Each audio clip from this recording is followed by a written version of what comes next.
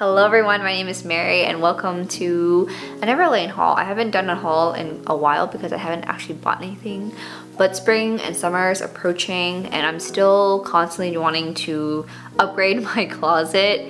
I picked up a few closet essential pieces that I think you will enjoy and I will link all of them in the description so you can go ahead and check them out. I'll also leave my measurements so that might be helpful for you when you're shopping. The first item is this gray and white stripe boxy tailored button up. I do recommend tucking in the shirt like a French tuck or a full tuck.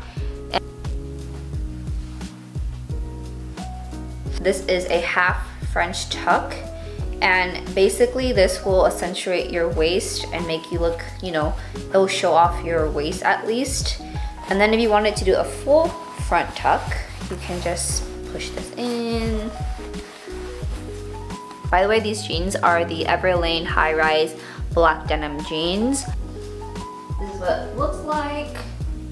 In terms of fit, it's definitely very snug. It really hugs onto your butt. But in terms of comfort, I would say it's like a 5 out of 10. It's not the most comfortable piece of garment you're probably gonna wear.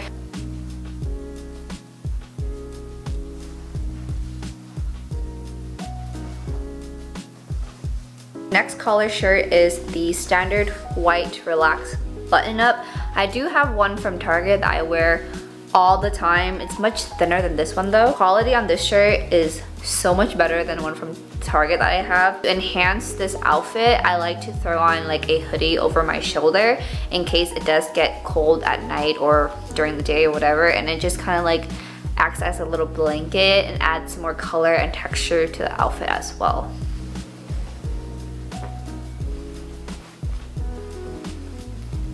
I'm giving off soccer mom vibes.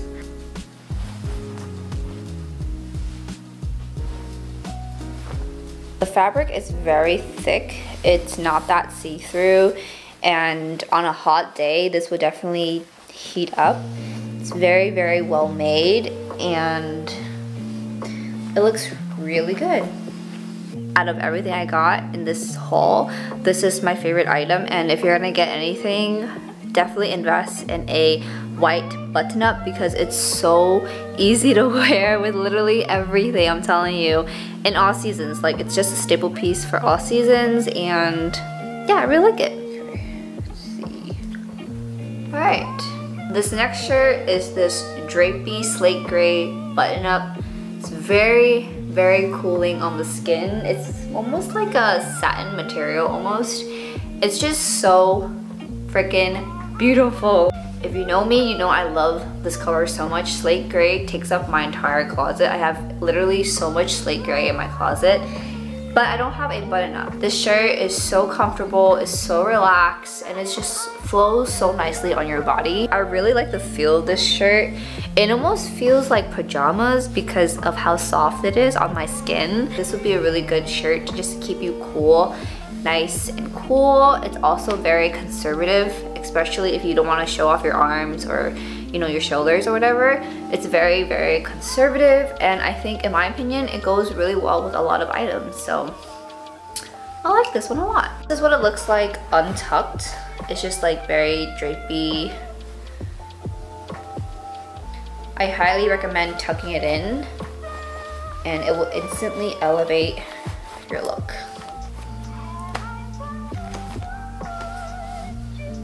I picked up this shirt jacket. It's called the shirt jacket. It looks almost blue in camera, but okay, it's kind of blue, but it's also kind of gray, depending on where you look at it. And these have become pretty popular these past like year or so. They have they have real pockets, which I'm always so disappointed whenever it's not a real pocket.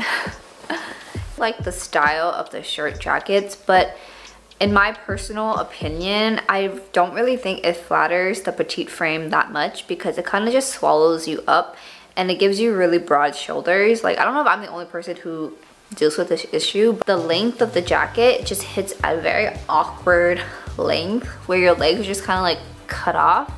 I do personally think this jacket is so nice and the quality is amazing. I kind of wasn't feeling my hair so I'm gonna leave it down for the rest of this video.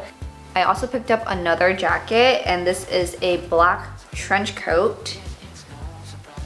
I have been on a mission to find a trench coat that fits me for many, many, many months. And this one's, the quality is really, really good. Um, it's not like Shein or whatever where it's like super paper thin. This is actually very heavy and thick, but also kind of lightweight at the same time where you can kind of get away with it in the spring. But I'll just show you what it looks like if the sleeves were shorter and if I were to get this altered or just keep them rolled up because I'm lazy and I probably won't get them altered. But so they're rolled up and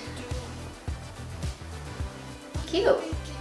The last item I picked up is the leather mini tote bag and this is such an adorable size. I just can't get over how cute this thing is and it's made of complete leather and this is the strap. It's pretty thick so there is some weight to the bag itself but it's very cute.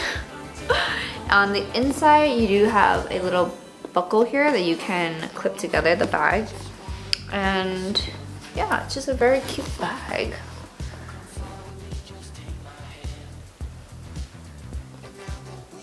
I needed a staple black bag just to use on the weekends whenever I go out. And this one was just adorable. It's just stinking adorable. It has like a nice little detail right here that makes it kind of different. It's a front pouch. And overall, this bag is very well made.